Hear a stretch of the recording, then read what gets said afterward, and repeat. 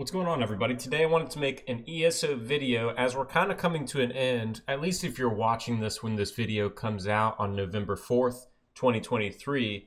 We are coming to the end of the Witches Festival. We've got this weekend, a little bit next week, but I just wanted to get us in the right mindset for the next event. This is event season. We've got the ESO Gates of Oblivion event coming up next. This will probably be, you know, towards the end of November, going into December and then we'll see the New Life Festival later this year. So this is going to be an unofficial um, event guide for this, and I just kind of wanted to go over what to expect, what we're going to be looking at, what we're going to be doing, all of that stuff. An official guide will come out um, on this channel as soon as ZOS actually releases and updates an article and all that stuff. So we're going to be going off information we got on the PTS, um, and anything from ESO Hub here. I will be linking this article below in the description so that y'all can come check this out. This will be updated online as well once the event goes live and we get a lot more information about it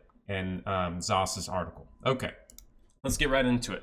So, the ESO Gates of Oblivion event is a celebration of the Blackwood chapter in ESO and is a bigger event that will unlock many new rewards by earning the Blackwood Pathfinder achievement. In this event, you'll be able to earn event tickets by completing Deadlands and Blackwood content, which you'll then be able to spend to obtain special rewards. Perfect. Okay, how to get started. Just like pretty much everything, there's going to be under the events tab in the Crown Store, you can find quest starters, and the event quest for this event specifically is going to be called Burdensome Beasts.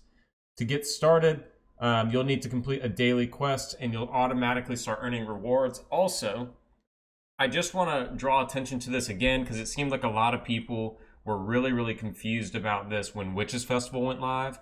In any of the events going forward where there is going to be double XP, like New Life Festival, I'm not quite sure yet if this one is going to have double XP, but New Life Festival will.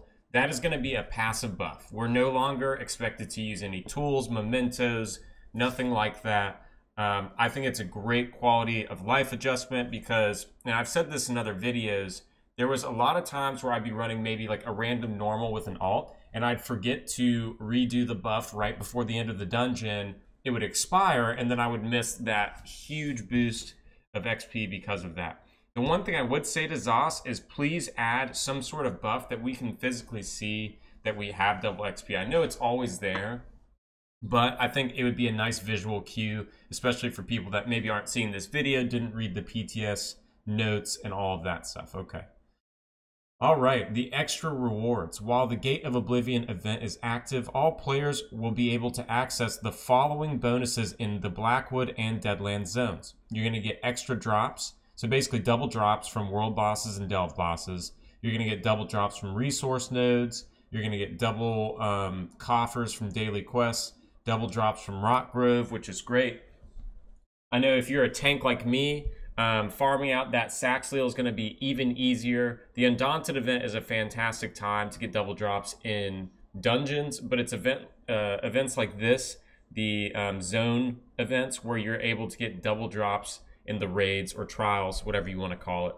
Um, but the cool thing here is we're also going to get double drops in Dread Cellar Red Petal Bastion, Black Drake Villa, and the Cauldron. There's a ton of really, really good sets in all four of those dungeons, so I highly recommend farming that out. I know I'll be probably finishing the sticker books in here. I've already got Dread Cellar done, but I'll try to probably knock out Rockgrove, Red Petal Bastion, Black Drake Villa, and the Cauldron. Okay. ESO Gates of Oblivion reward boxes. In the ESO Gates of Oblivion event, you'll be able to earn special reward boxes containing various rewards that aren't normally obtainable. So we'll go over how to earn these and what will be in them. How to earn them. So the first one can be earned by completing a daily quest either in Blackwood or Deadlands. Daily quests that'll be available here are going to be things like killing a world boss, doing an Oblivion portal, doing the Delve boss, um, in Blackwood, there's going to be a little more choice with that kind of stuff. There's going to be more dailies, but then in Deadlands, it's primarily going to be um, restricted to um, delves and um, the world boss. All right, subsequent daily quest and dungeon completions will instead reward a purple quality box, So again, this is going to be gold quality the first time you do it. Um, and the second um, gold quality box, you can get two per day. That's actually fantastic. And you have to kill the final boss in one of the four dungeons here. Dread Cellar, Red Petal Bastion, Black Drake, and Cauldron. Okay, so then, like they just said, you can get purple quality boxes from all these things, delve bosses, world bosses, and resource nodes, so that's great. So those of you that aren't huge on the combat, maybe just like the more chill aspects, housing, all that stuff, you'll be able to get double resources and event boxes just from the resource nodes. All right, it looks like we got the new style here. Y'ffre's Fallen Wood style. Okay. Definitely would dye in a different color, but I think a lot of the styles are pretty cool. Um, I like the belt. I think the boots are pretty cool. I think the helmet's pretty cool. Rest of it's okay. All right. There is not yet an exhaustive list of all of the rewards that are going to come, but you can get the Y'ffre's Fallen Wood style motif out of here, so that's great. All right, Gates of Oblivion event tickets. So obviously you'll be able to get event tickets. You're going to be able to get a maximum of two event tickets per daily reset. Either do a daily quest, complete the Rockgrove weekly quest, or any of the final dungeon bosses here. During this event at the Impresario, we're going to be able to purchase bound style pages. You know, if your RNG is just absolutely trash, you can go there and purchase individual style pages for different parts of the motif for five event tickets each. You can get all the fragments of the Passion Dancer Blossom Pet, just like every event this year. Um, and then both of the first two fragments. So currently in Witches Festival, we're able to get the Blessed Honeycomb.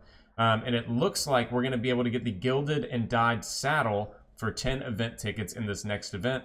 So I already have 12 just sitting around waiting, so I'll be able to purchase that right when that comes. That's fantastic.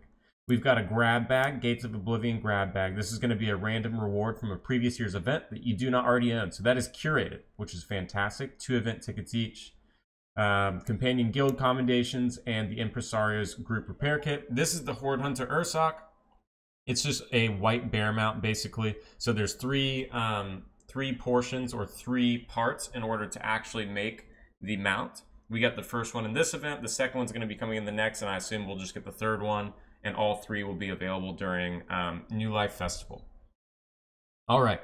Now we've got the Indrik vendor. This is going to be located in Belkarth within Craglorn. You can find them there. You're going to be able to get the Crimson Indrik and Pure Snow Indrik berries. So here's the Crimson Indrik. I've always thought the Crimson one was super cool. The Frost one's okay, but the Crimson Indrik is definitely one of my favorites, for sure. That's pretty much it, guys.